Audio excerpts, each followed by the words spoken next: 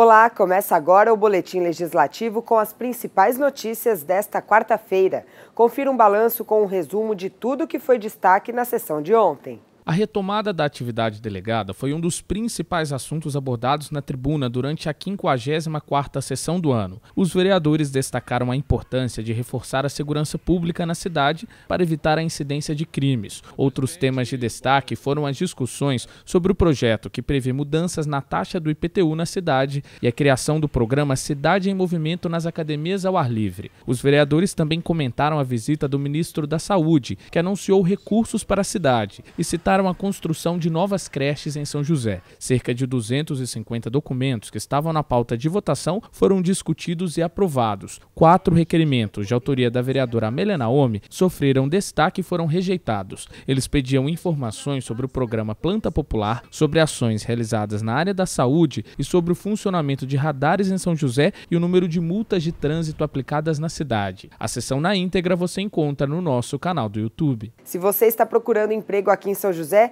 veja as vagas disponíveis no PAT. É a nossa agenda de serviços.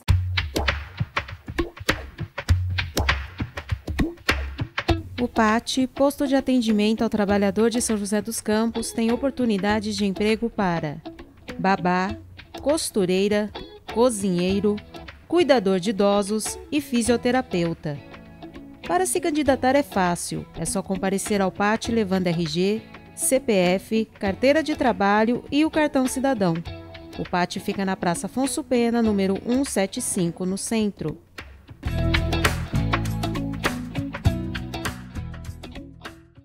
As mais diferentes questões que envolvem os problemas da sociedade contemporânea serão a base de uma discussão de um programa inovador que deve ser criado nas escolas municipais de São José. A proposta prevista em um projeto aprovado pela Câmara pretende simular com os alunos as discussões de comitês diplomáticos. As salas de aula das escolas públicas de São José poderão se tornar um centro de debates internacional. E os autores serão os próprios estudantes, que vão representar líderes de Estado de todo o mundo. Essa é a proposta do programa Simulação, criado por um projeto de lei aprovado aqui na Câmara.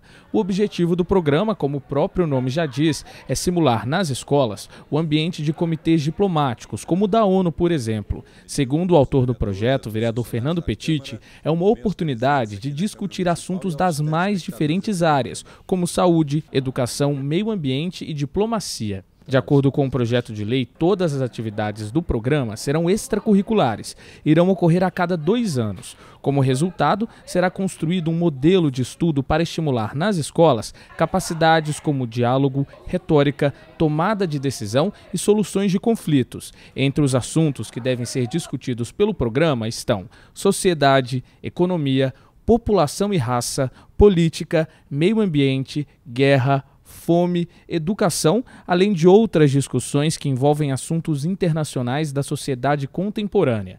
Segundo a justificativa do projeto, o programa Simulação é uma ferramenta muito importante na formação do aluno, tanto no âmbito escolar como pessoal, uma vez que remete aos estudantes noções de organização e trabalho em equipe, além de estudos sobre atualidades que ajudam na preparação para o Enem. Fique agora com a previsão do tempo para a tarde de hoje e também amanhã, quinta-feira. A tarde desta quarta-feira deve ser de céu claro com poucas nuvens e sem probabilidade de chuva. A máxima alcança os 31 graus, mínima 15.